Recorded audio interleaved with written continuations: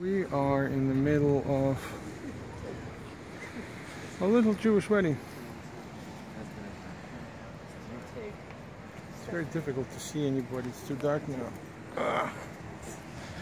We are at Marco Polo, Sunny Isles. So, maybe.